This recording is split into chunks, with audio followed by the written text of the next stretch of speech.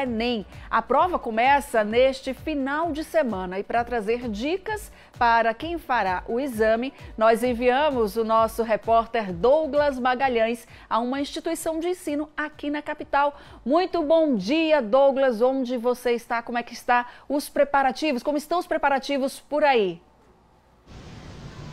Olha, eu estou aqui ao lado do professor João Anderson Oliveira, ele que é o coordenador pedagógico do ensino médio, e ele vai passar para a gente as informações, porque o Enem começa no próximo domingo. É, bom dia, professor.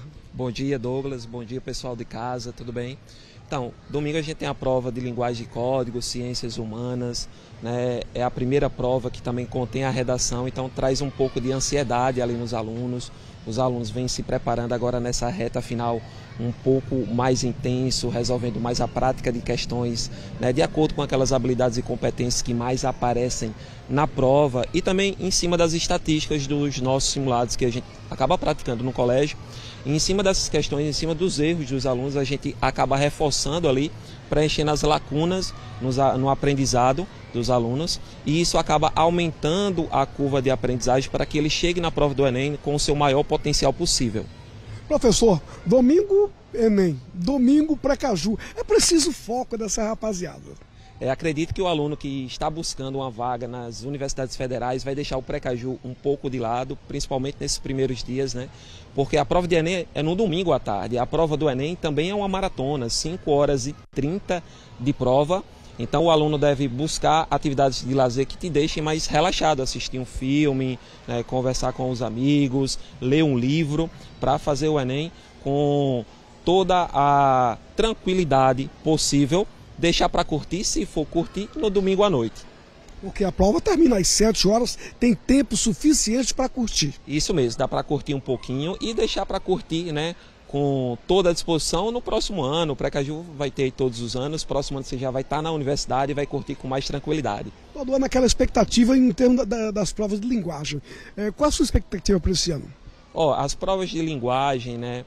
É, a gente pode esperar uma prova técnica né, que vai exigir dos alunos né, uns principais conteúdos ali como gêneros textuais, gêneros literários, intertextualidade, funções de linguagem e também o texto dissertativo, que vai exigir do aluno é, que ele trabalhe em cima desses temas a partir de determinadas habilidades e competências que eles vêm praticando aí ao longo do ano. E lá do estúdio, a Aline tem uma pergunta para o senhor. Pois não, Aline? Pois é, Douglas. Eu queria, na verdade, que você conversasse com, com o professor é, para falar um pouco sobre essas orientações para quem vai fazer a prova. Muitas vezes a gente, a gente sempre faz reportagens com aquelas pessoas que chegam ali de última hora, acaba perdendo a prova, se preparou o ano inteirinho, mas acabou atrasando. Então, qual a orientação né, para quem vai fazer a prova, para que chegue no horário, para que não se atrase? O que fazer para evitar isso, Douglas? na realidade, ali passou uma preocupação, não é? Na questão é, do, do, do momento de chegar para a prova, porque tem o prazo, você pode perder o prazo. Como as, os alunos devem se adequar a esse modo? Isso, o portão abre às 12 horas e fecha às 13. É importante que o aluno que não conhece o seu local de prova visite esse local para ver as vias de acesso e não ser surpreendido, sair de casa com um tempo né, antes, que dê tempo você chegar lá, caso aconteça algum imprevisto, mesmo assim você consiga chegar, para que não atrase. Caso você não consiga chegar até as 13, você não consegue fazer a prova do Enem e você acaba perdendo. Tem que ter muito cuidado. Muito cuidado. Professor, é, esse ano nós temos modificações, porque nos anos anteriores somente a capa era colorida da prova, esse ano ela vem toda colorida, com gráficos, tirinhas. Facilita alguma coisa? Então, esse ano vai facilitar bastante a questão da visualização dessas questões, já que a prova é colorida, isso facilita a compreensão do aluno e também para que ele se saia melhor nessa prova. Um detalhe, o que o aluno deve levar para a sala é, da prova? Ó, ordem de prioridade, você não pode esquecer o seu documento de identificação original, certo? Não pode ser cópia, mesmo que seja autenticada, tem que ser o original caneta esferográfica preta e um item que não é obrigatório, mas eu acredito que todo aluno deve levar, que é o seu cartão de confirmação do local de prova e sala. Isso pode te ajudar bastante, além de levar água para se manter hidratado, o seu lanche. Afinal, o Enem é uma maratona, 5 horas e 30 de prova. 5 horas e meia, professor? Isso mesmo, 5 horas e meia de prova. Agora, é, voltando à questão do dia da prova, do dia do Precaju, falando mais uma vez sobre a questão deste foco para o aluno, porque para o ano tem é, Precaju. Vamos deixar esse ano de lado, esse ano focar no Enem. Isso mesmo, a gente tem que focar no Enem, né? foco total para que você não crie uma ansiedade para o dia da prova. Você deve relaxar no dia que antecede a prova, deixar os conteúdos um pouco de lado e tentar relaxar o máximo possível com atividades de lazer que você goste. Ler um livro, assistir um filme, sair com a família, algo mais leve. Bom, falou em algo mais leve, Aline, me lembrou aqui a refeição de quem vai fazer uma prova de 5 horas e meia. Por favor, não me venha com feijoada. Isso, não venha com feijoada, não tentar, né?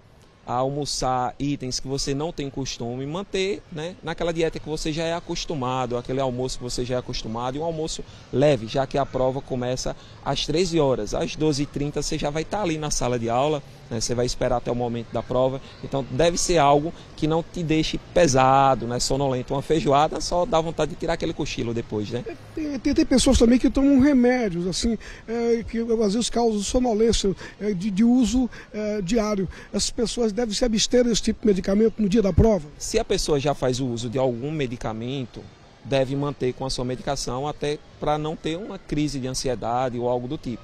Agora, se você nunca tomou nenhum medicamento, não é o ideal que você comece a tomar no domingo.